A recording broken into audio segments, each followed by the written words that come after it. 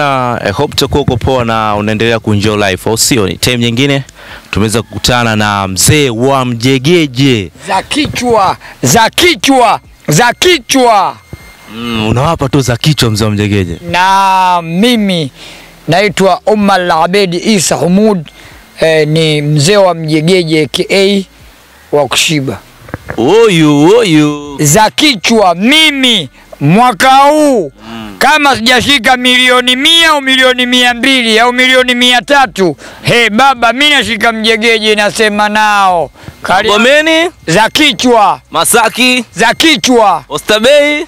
wanangu hao nawaacha sasa hivi. Oyo oyo oyo. Sasa mzee wa Mjegeje. Mzee wa Mjegeje mambo vipi? Ah, mambo poa sana. Mwaka mpya huu ndo kwanza tuko mwezi wa kwanza. Mambo yanaenda lakini. Ah, mambo yanaenda sana mbio mbio kweli kweli, unaonekana huu mwaka wangu Mm. Ni kitu gani ambacho unakikumbuka mwaka 2021 ambacho huwezi kukisahau? This time mwaka 2022.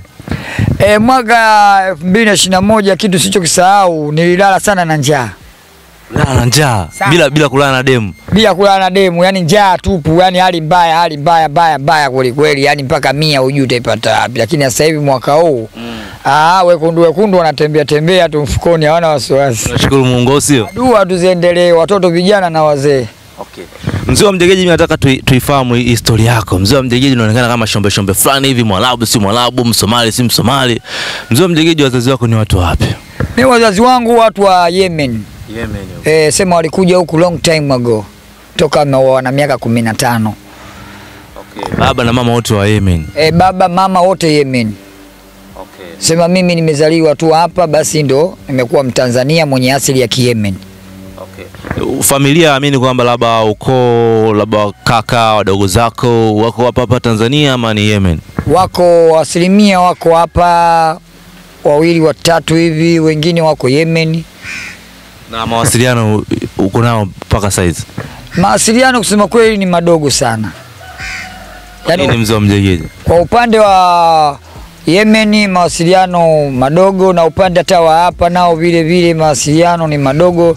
Unajua, sometime inapofikia muda kama kwa kuwa hali yako wewe si nzuri ya kimaisha, unakuta hata ndugu wenyewe nao wanakukataa kataa. Tunasema mzee wa Mjegeje ulikuwa na mkwanja. Eh, maybe baada ya kupata mkwanja na wewe ndugu liwasahau, lakini sasa hizi mkwanja baada ya kukimbia na wenyewe wamekusahau. Unalizungumziaje? Ah, mimi kwa kweli sikuweza kuwasahau kama walivyonisahau wao, ila wao ndo wamenisahau, lakini mimi sijawasahau kusema ukweli, nilikuwa nawakumbuka tu. Okay. Tunakufahamu sasa hizi kama mzee wa Mjegeje, lakini kabla hapo ulikuwa na maisha yako, ulikuwa na shughuli zako. Kabla hujaanza kumfahamu mzee wa Mjegeje, mzee wa Mjegeje alikuwa anajihusisha na shughuli gani?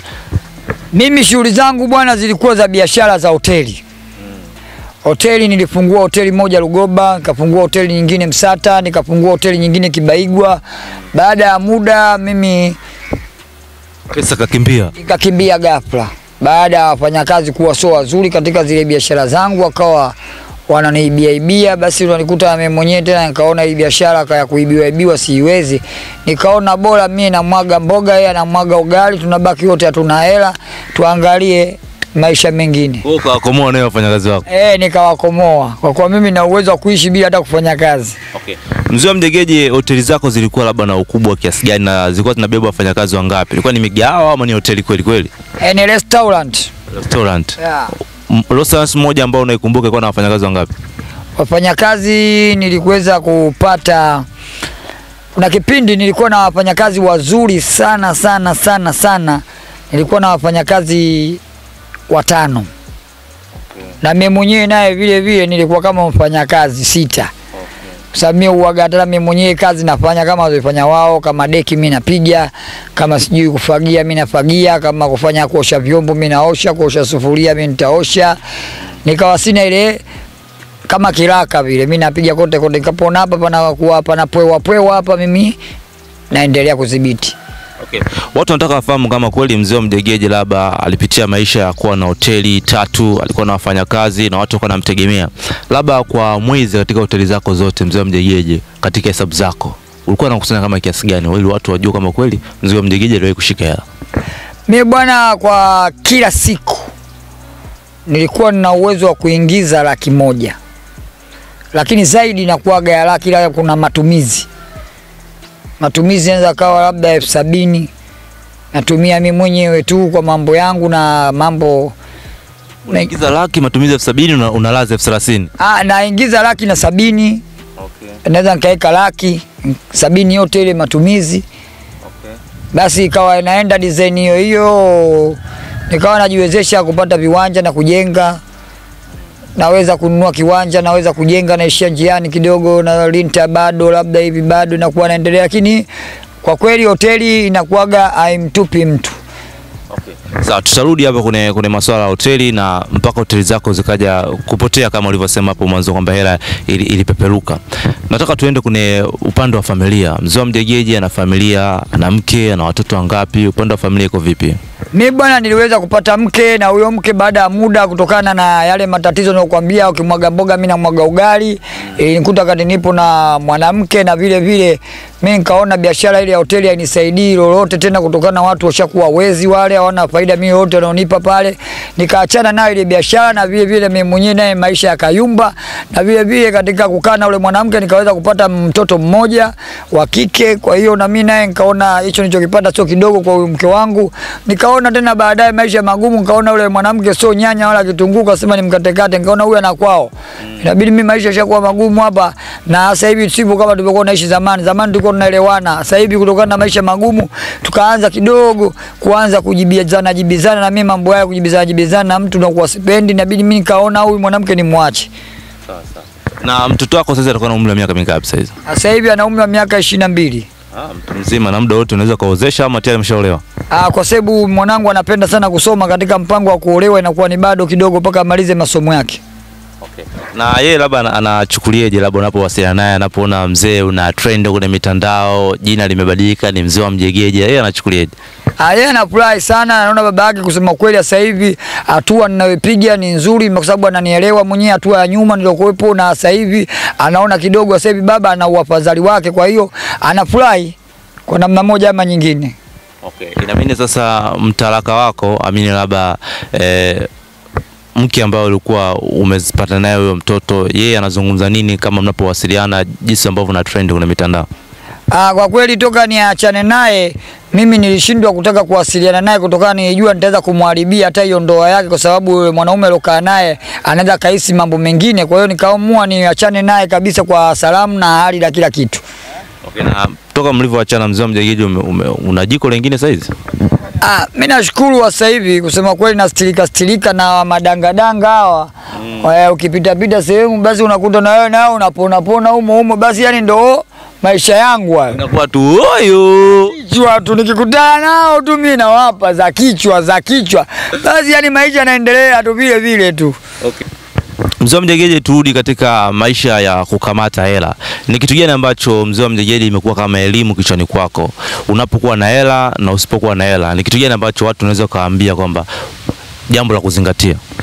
Jambo la kuzingatia katika masuala ya hela, unapokuwa na hela ujaribu sana kuwa na adabu na heshima na watu, kwa sababu hela sometime muda wote inaweza ikapotea, lakini ile heshima yako ndio inaweza kukulinda baadaye. Hata ukimwambia mtu bwana, ninunulie fegi hapa ya mia, akakununulia kutokana na zile shukrani zako, kwa sababu unapotenda wema na wewe hakikisha utalipwa mema, na utapotenda mabaya hakikisha utalipwa mabaya.